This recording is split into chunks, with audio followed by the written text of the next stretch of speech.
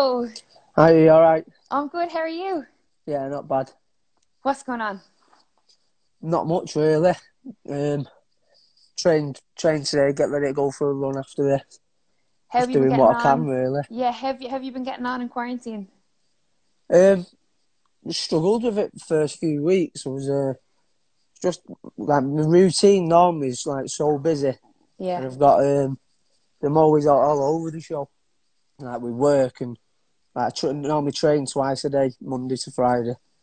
So um, I just had loads of free time and not knowing what to do with it. So got myself a punch bag and that, and um, kept myself busy with that. Good stuff. Good to hear. I think a lot of the guys that I was interviewing, it kind of made them sort of assess their home living areas, and they were like, "Oh, I could totally put a bag there, or I could totally Yeah. do something there." So they're kind of like capitalizing on everything, I suppose. Yeah, I had nothing. Like I, all my training really was done at the gym.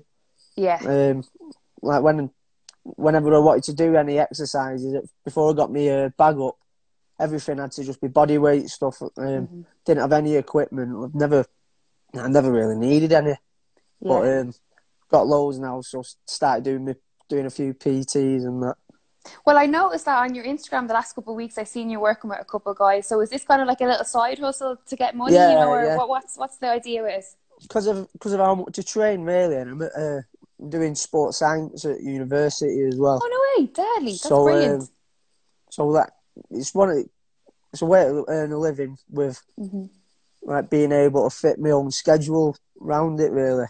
Yeah, There's not a lot I can do because I have that much on, and I've got my little girl now as well. So yeah. just um, just so that I can do my own hours really. So what what um what year are you in in in in uni? So uni is like college. We would Yeah, say college over here. So what what year are you in? Um, I'd have just just finished my first one now. Okay, So, and how um, long is it for? How many years will you have to do? Three years. Oh no way. Okay, Yeah, so it's a proper course then. Yeah, That's Yeah, good. So what it. what was the decision to go into that?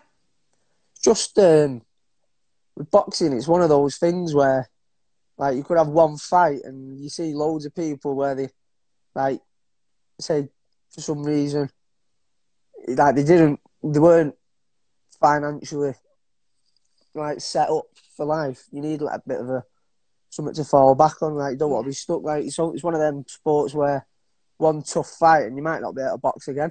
Yeah. So, just for um, well, with me having my little girl, hmm just uh, a bit of a backup, really. Do you think have you always been kind of a little bit sort of older than your years, a little bit mature, or was No, it not- from the not- birth of your Not daughter? really, no. Um, my my mum, like, has always been like believed a lot in that it's a good idea and that, Yeah. and um, convinced me. Yeah, well, she was very wise, and you're very wise as well that you actually listened because there's not many like 18, Yeah. 19 year olds that that do listen. Something So that'll go well with me boxing as well, because everything everything I'm learning there, it's um, all all like geared around stuff I can do myself. Well, you're proof as well, aren't you? I always say that with like boxers that for, for to do personal training or to work with people, showing them what they do. Like you're Yeah. you're you're your own brand, so you're proof that what you do works. Do you know Yeah, that yeah. way? Yeah. So, do you have any aspirations, like in terms of having it as like a proper business or opening your own gym, or is yeah, it just a little side in the future. Because I'm I'm confident that um, I'll be able to do well in boxing and sort myself out um, for life through that. But um, it's just it's just one of them. You never know, do you? And Yeah, it's not like with what I'm doing now. It's not like it has to be one or the other. I can do both. So yeah, exactly, exactly, exactly. So let's talk about the boxing. I think the most anticipated question in terms of your own career is when's the pro debut? When are you going to turn over? Are you sick of being asked? I get asked it all the time, and um, yeah, I'd have turned if it was down to me. I'd have turned pro on my birthday, but uh, as soon as I turned eighteen, but I, I wasn't ready. Just uh, got I've got all my faith in the people around me, my dad and Matt, yeah, and um, my amateur gym. Like we all, like, I know they've all got they know what's best for me, and that I can't. I don't think it's far off at all now. Uh, I do a lot of sparring with pros, and um, I do. I think I perform a lot better mm-hmm. against pro fighters just because of my style. Yeah. Got, um, all, all, the way I box is definitely going to be. Um, I'll do better as a professional, and probably, probably looking um, maybe early next year or something. Don't know. Just uh, it's hard to say at the minute because just because of everything that's going on. Yeah. Um, so, would you have anything have had anything planned amateur wise for now? Like, was there something scheduled for you? Uh, not really. Um, we were just taking things as as they came. So I just boxed in the ABAs, mm-hmm. and um, I didn't, really, didn't even get a chance to get back in the gym after it because yeah. I think uh, I boxed like three or four days before um, we got put in the lockdown. So um, yeah, we'd not really discussed it, but it was never far off. It was just about getting as many as many fights in as I could really mm-hmm. get um, the experience because um, I've I've sparred pros for years and I've always been I've always held my own and sometimes more than held my own. It's not it weren't a matter of um, like turning pro when I'm ready because I I weren't far behind a lot of pros. Mm-hmm. It's just um, I'd rather turn pro and be able to impress people than turn pro yeah. and just just be holding my own. So the, yeah, the want to to impress people um, when you turn pro is that to do with your own goals or is it because obviously you know of the family that you come from with obviously your dad Ricky and, and your uncle Matthew yeah I know I'm like because of who my dad and Matt are I will I will get opportunities that um, yeah. that a lot of people might not but um, just think it's all it's all good having these opportunities, but if you've not got the ability to, um, like they can't fight for me, can they? So yeah, exactly. Yeah, I like I need to be able to grab them with both hands. Mm-hmm. Really, don't don't want to rush into anything. Absolutely, it's, it's very wise. But I remember I, I watched um, an interview of yours recently, and um, you said something very um, something that, that I, I clicked onto. That I was like, God, that that's a really it's insightful for your age, and you seem to from it. I got an idea that you had a, a, great sort of um, understanding of the sport, and it was a question in terms of uh, developing your own style.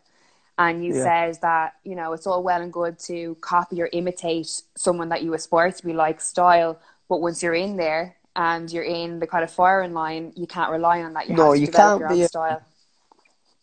Like you, you, you need to, like the concentration you need it's on another level. You can't be thinking whilst whilst you're in there, oh, I need to do this. Like, oh, I'll try this because this will look like like someone who I someone who I look up to. Mm. You, you, can't be thinking about anything other than the person in front of you. So, um, I just, when I box, I just go in and try and do my own thing. I don't uh, don't really worry about anything else.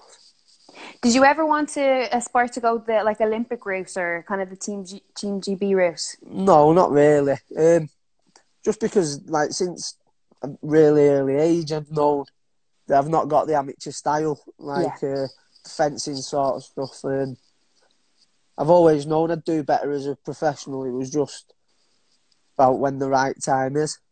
Mm-hmm. Like I've bags of time now, and I think I'm not not far off. Yeah. Um, being ready for it now. You obviously, you know, you, you've grown up in the sports and you've obviously been around gyms and, and just the, the, the, the lifestyle of boxing for, for your life, you know. Um, can you remember a moment where, you know, you decided or the way you, you knew that boxing was something that you were passionate about? Um, I, I started like when I was really young, I was about 11. Mm. And um, I just went down to the local gym because I'd always done little bits with uh, with my dad and Matt, just like every now and then. Yeah. But I, never took it serious. Like it, it was just uh, something to do. Like I, I never thought, oh, I'll be a boxer at first. And then I went down to the local gym, but um, I still weren't like overly interested. I enjoyed it, but that was about it. So then I stopped and had a, like a few years out. And then I went to, I just thought I'll, I'll give it another go. Um, went to Northside in uh, Clayton and just loved it. Then I had um, Mm. lo- loads of fights for them, um, and then went to the gym I'm at now, Roy Richardson's. Um, I've just yeah, loved it ever since. what a legend he is. Yeah, definitely. is he still is he still working away? Is he still at He's- the gym? yeah, yeah, he's always at the gym. Never misses it. It's like just, he's uh, his what late eighties now. yeah, he's always there. Incredible. Still gives gives his advice out, and uh, yeah, it's good. He's good to have around the gym. Yeah, knows out, knows out. Yeah, Um, still gives me a crack and all. does he? Yeah. good stuff. Good to hear. Good to hear he's keeping everyone in check. But in terms then of like your first fight, was it again you going to your coaches saying, "Look, I want, I think I'm ready. I want to go in there," or was it your coaches? No, my Put you in. coaches um, matched me up. I, I was like, because I'd done a bit before. It's, it worked like I was starting from like nothing. Yeah, Like, I did, I did know what I was. Like, I, I weren't like, I weren't like dead good or anything, but I was, um, I was more than like starting from scratch. So I done like the stuff I'd done with my dad and Matt. So I was had a bit of a head start to hmm from people who'd had no fights. But um, yeah, I was ready. I think I'd been in the gym about um, three or four months or something, and then I got my first fight, boxed in real, uh, real town hall, and got the win. Was there a fight where something switched in you, where you went, "Okay, I have the bug now," or you know, the sort of like the uh, fighter came through? Before even the first fight, it was just being in the gym. Like when I, I think it was because I was a bit older, because I'd been in the gym when I was about eleven and twelve before like, I had a few years off, and uh, I think it was just better, better that I was a bit older and like more focused on wanting to do one thing. Because when I was when I first started, it was just I was trying a bit of everything. Yeah. But um, yeah, as soon, as soon as I went back to the gym, I think I was about fifteen. Uh, Did you ever do it. any other? uh, Did you ever do any other sports? Not nothing, um, nothing serious. Just just like messing about with my mates. Really, uh, did like played rugby for school. Like did a bit of bit of running and stuff, and uh, played football for Hattersley. But no, shy at football. Who do you support now? Obviously, City, is it? yeah, Defo City. Good stuff. Um, what was I going to say to you? What are some of your early earliest memories? What when, of when it was the boxing? Yeah, I can't really like. People ask me what I can remember about my dad and Matt fighting. yeah. But, um, well, you, was- what, you would have been young. only like, would you have been what ten when your dad retired? When my dad had his comeback fight, I think I was about eleven or twelve. Mm. But um, I can remember bits of being in uh, Betta Bodies when my dad was training at- and Matt was at the Phoenix camp. Uh, But I just remember like going in. I don't remember the boxing side of it Yeah. really. No. Was it important for you to have Matt as part of your career going forward? Like now, like obviously you have your amateur club, but in terms of working alongside Matt and your dad, like was, was it important for you to have them uh, as part of your your career going forward? Yeah, definitely. Um, I've noticed a massive change. I was uh, I was improving a lot um, before I started working with them because I, have, I haven't um, always worked with them as much as I do now. It's only Mhm. been the last uh, couple of years, but um, I noticed a massive change when I was um, when they were working on specific stuff. Because obviously, at the amateur gym, like the coaches are, are all really good, but like they've got that many kids. Yes. Like you can't always get as much one on one time, yeah. and like so, I was, coming on loads. They they still bring me on a lot, but uh, it's when I was like I was pinpointing things I need to work on and getting the basics sorted and stuff. Um, yeah, that's that's when like the penny dropped a bit where Mm. I thought um, I could do well at it. Absolutely, it's an interesting time at the moment because obviously with the coronavirus and with the the um, the postponement of the Olympics for one, and all these kind of like um, big amateur um, uh, competitions as well that have been going on this year or that were scheduled for this year, and a big conversation that's out there is what do you know the the team GB guys that were kind of this was their last shot, suppose like you know in the Olympics. What do they do next? Do they continue? Do they wait till next year? Do they wait another four years? or do they turn pro? and it, it leads to the conversation of you know what if, if successful amateurs what makes a successful pro because we don't always see it we see guys No, that win no. gold all the time amateur and they turn over and they just don't do well Yeah. so what's your what's your um, understanding of it what do you think makes a successful turnover think um, like you can have all the skills in the world, but uh, the physical side of it with the professionals is a, makes a big difference. If you haven't got like a bit of strength behind you as well, I think you'll only get so far. You see loads of skillful, uh, skillful boxers that just don't always, oh, don't quite make it just because you like someone who's probably not as talented, but like can rough them up or bully them Yeah. sometimes. I think you need a bit more. I think the amateurs is you need all skill really to be the top amateur, and then I think you do better in the professionals if you have a bit of in, like in between, mm-hmm. you know, a bit of both. Absolutely, I agree with you. Also, uh, who was I talking to? I think it was David Caldwell that we were discussing it with, and he had said that he, he thought that um, one of the biggest mistakes that a lot of successful amateurs make when they turn pro is that they lose the ability to learn or they lose the ability to because they've, they've come from such a peak in their amateur career they've won Yeah. everything and then when you go pro you're kind of starting again you're you're back at the Yeah, of bottom you know Yeah, definitely. I just think, um, like with me, when like when I turned pro, I think I've been training um, like a professional for a long time now. Like the amount of train, and I've been mixing because I'm mixing with both pros and amateurs. I think where a lot of people have time when they turn over, they'll have they might have a few months in the gym Yeah. to um, make a bit of a transition. Where I, I think I've uh, already done a lot of that. yes No, I think I, I mean I'm used to it, and when I spar pros, I, I do feel the difference. hmm Absolutely. Do Do you feel is there a pressure on you for when you do turn pro? Because naturally, you know, because of who your dad is, because of who your uncle is, there's sort of like an anticipation where I think the boxing community are so behind you because your your, your dad and your uncle are so well loved. They kind Yeah. of can't wait to be able to love you as well and to put you up on that pedestal.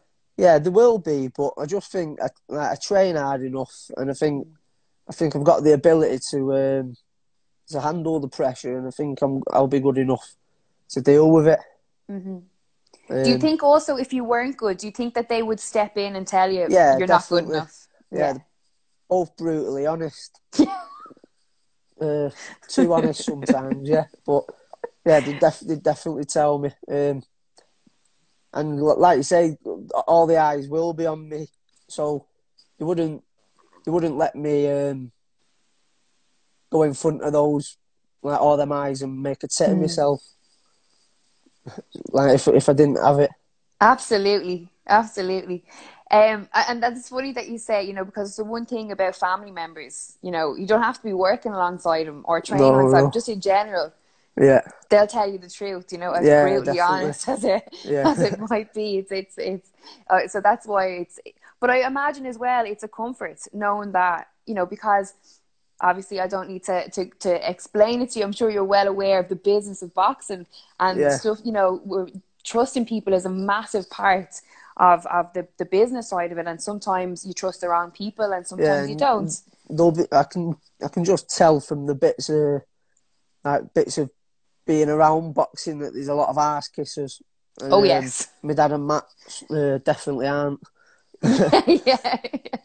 But that's, you know, and it, it stands to you as well because one thing that is like so clear again with, with any of the media stuff you've done is that, you know, you're very humble and very, a lot of humility and just down to earth and just like, I want to work Yeah. hard and, you know, so that's, that's definitely obviously a quality that people loved Yeah. with, with your family as Well, well. I, I haven't done anything myself yet, so. Well, that, and that's a fair, that's a very fair point, but yeah, you could say, but I you do know, know, I do know um, that I am going to. I do know I've got the ability to do it. To Yeah. work hard enough. Absolutely, yeah. No, it's it's it's um like that's a fair point that you make, but it would be, you know, you could you could it'd be very easy for you to be strutting around Manchester, Yeah, being yeah. like, "I'm Ricky Hatton's son," you know what I mean? Because it's done by others, you know what I mean? Yeah, so it's, yeah. it's it's it's a good quality to have to to have your feet on the ground.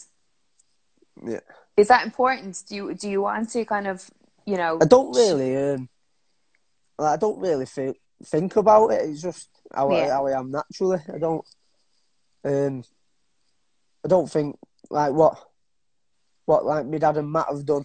Yeah. I don't, like, I don't think that makes me a good fighter just because like what yeah. they've done. It, it doesn't make. It's not always the case. You, mm. you see some fighters and like not always as good as like as people in the in the families. Yeah, it's not just a given that I'll be able to fight because they can. I think mm-hmm. because I've worked hard enough for it, um, and I will do for enough time to make it myself. Absolutely. When you look at you know turning pro and the career that you'll hopefully have, what are the goals? I think I can uh, as a as a pro. I think I'll be able to go all the way. To be mm-hmm. honest, um, one of them was sports boxing where I think you have to think that. Yeah. To be honest. Yeah, absolutely. Too hard a game to be um, setting you, setting the bar low. Yeah, but, um, absolutely. Um, whatever I do, I know I'll have I'll have done the best I can because uh, I train I train hard enough, and I know I couldn't do any couldn't train any harder. Even like with the quarantine, I've uh, kept on top of things. I don't. Uh, I won't have any regrets at the end of it anyway. Mm. What's the biggest, I suppose, life lesson that boxing has taught you? Just um, if you dedicate yourself and uh, and work hard enough, like even if people aren't the most talented, mm. Uh, you can still get there. You, have just got to give it your all. Yeah, absolutely that's across the board, isn't it? It's not just yeah. boxing. It's good advice for. Just... Yeah, it's just um, like you see, look, there's loads of fighters where you think, Jesus, you wouldn't you wouldn't have thought a few years ago that they'd have like done the got to where they are, and yeah. you just know what why they're there. Yeah, absolutely. In terms of your own inspiration, who inspired you growing up? Who did you look up to? Um, obviously my dad and Matt a lot because mm. they were like they. If it weren't for them, I probably wouldn't be interested in. in well, I'd be interested, but I don't think I'd uh, have such a close interest. Um. So, but I've got. I'd have to. I'd have to say those two. But um, I like all the Manchester fighters from from years ago, like uh, Jamie Moore, uh, Michael mm. Gomez, like like a lot of them. Uh, Anthony Crolla as well.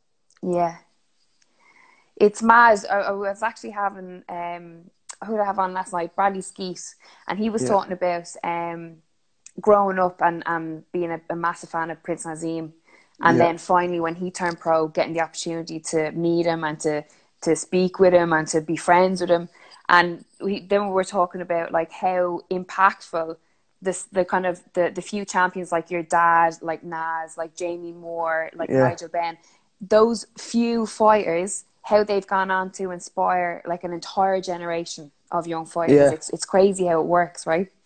Yeah, it's because it's so relatable. Yes. Um, because you think, well, if they've done it, why why can't I? Yes, exactly, exactly. Yeah. Did you ever feel, in terms of like the mental side of fighting and the mindset, you know, like it's it's very clear that you're very resilient and you're very mature and you're very you know you know what you want and dedicated to the sport. Yeah. But is that something that you had to kind of develop over time in terms of having this like rock solid mindset that you know that you can be great and you're putting in the work and it's going to pay off? Yeah i've always, I've always known that um that like, i'll have to work hard just because i started a lot later than mm um, a lot of fighters. I've not got the experience that uh, some like people are fighting, like people on the same similar amount of fights as me. I don't really like, don't really get matched against them. It's, uh, yeah. it's hard to get the fight, so I'm, i normally fight people who might have had twice the fights as me. And um, I don't like sometimes I've lost a couple of them, but I've never lost by much, and normally been uh, close where they could have gone either way. Yeah. So I know because I've been catching up a bit. I've had to work harder than them, and I know um, I must be doing something right if I'm at the same level as these uh, these fighters already. Is it three titles that you have now? I've got two Northwest Yeah. and I won the national novice title. What years did you win those ago. in? Um, I think the I won one and not one Northwest in 2017. I think it was. Um, and then I think I won the novices 2017, and then a uh, Northwest last year. How was that? Yeah, it's why everyone gets into boxing, isn't it? They want to Yeah. um, want to win titles. Yeah.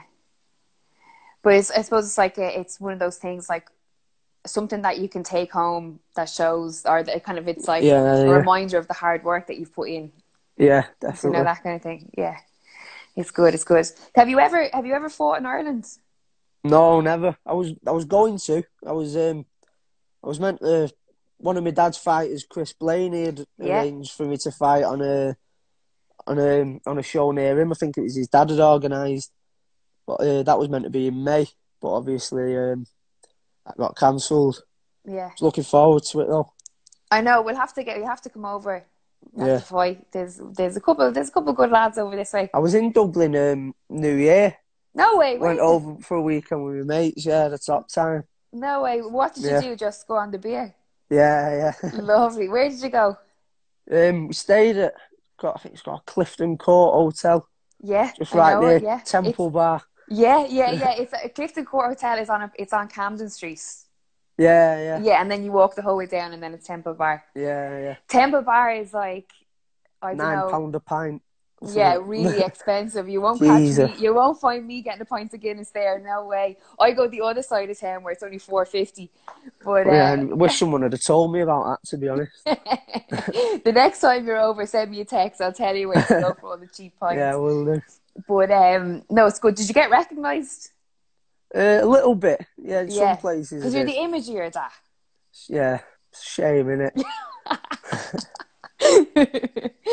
but yeah, I like because again, like your your dad is so well loved over here as well. You know, we kind of consider him a little bit Irish in some capacity. You know. Yeah, no, I did. I did get recognised a bit, but um, yeah, I had, a- I had a really good time. Good, good to hear. I'm glad. I'm glad you didn't have a bad time. That'd be terrible.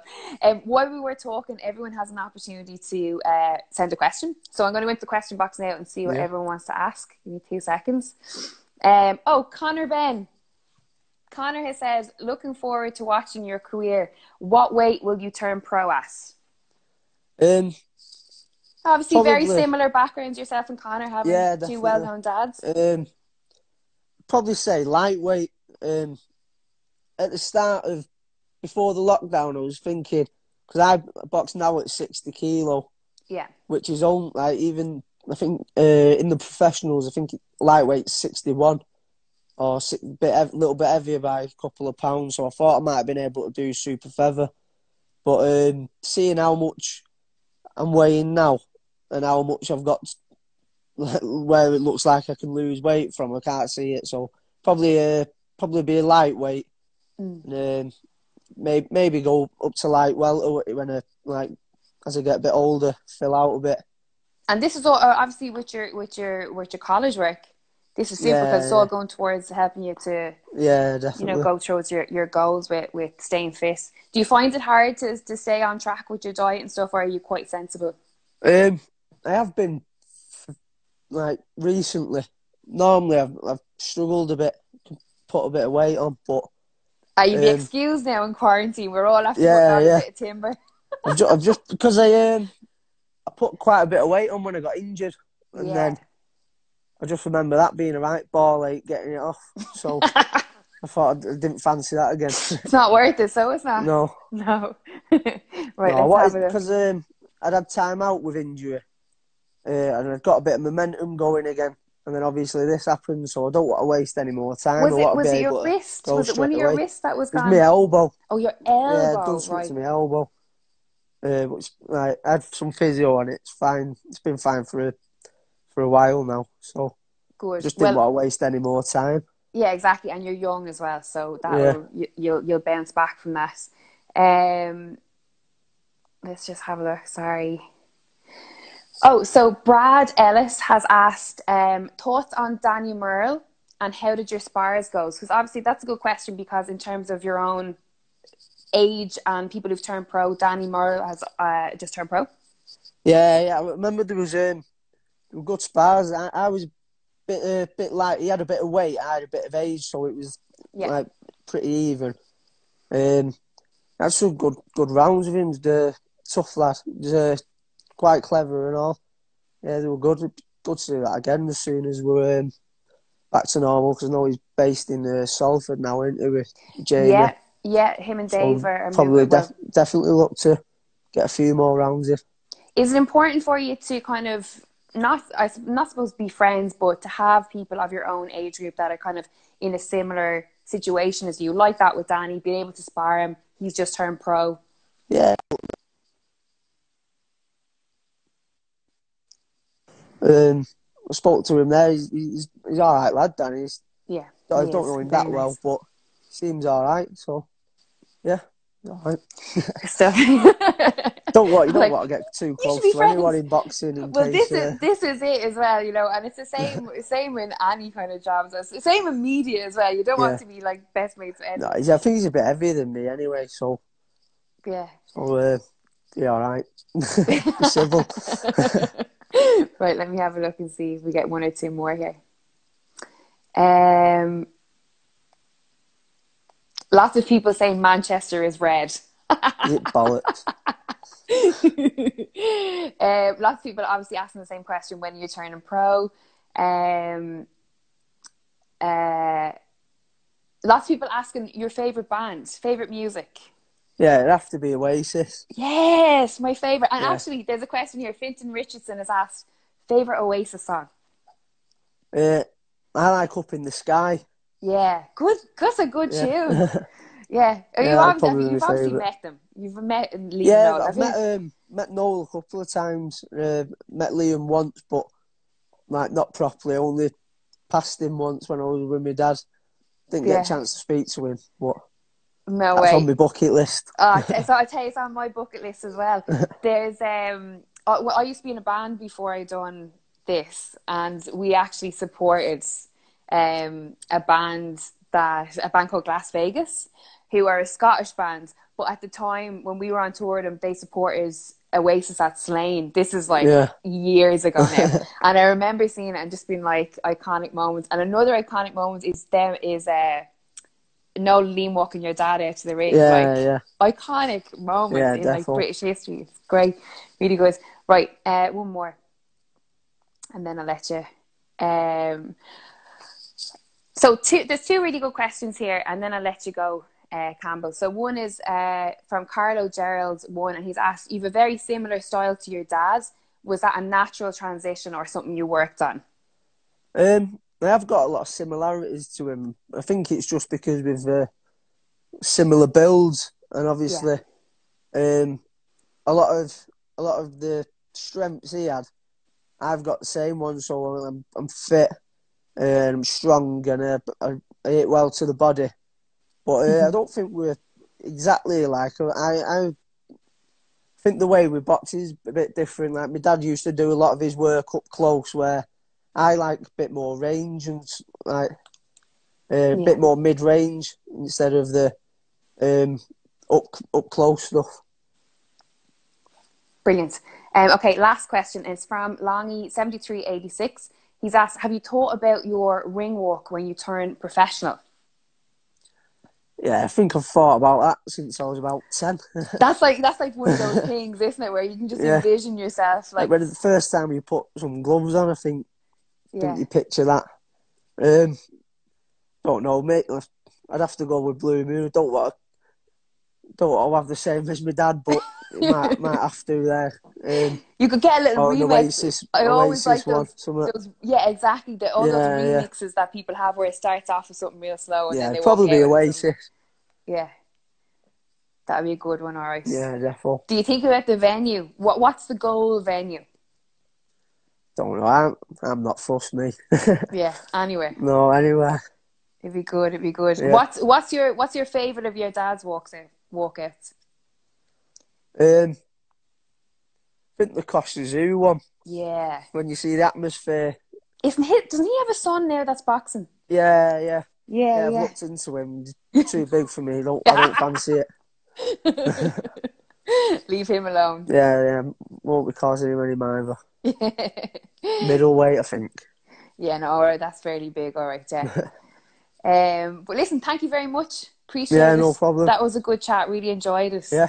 And um, yeah, looking forward to seeing what you do in the future. It's an exciting time for you. I wish you all the best with it. Yeah, thanks for having me on. No worries at all. All right. Talk to you soon. Take it See easy. Bye bye. See you later.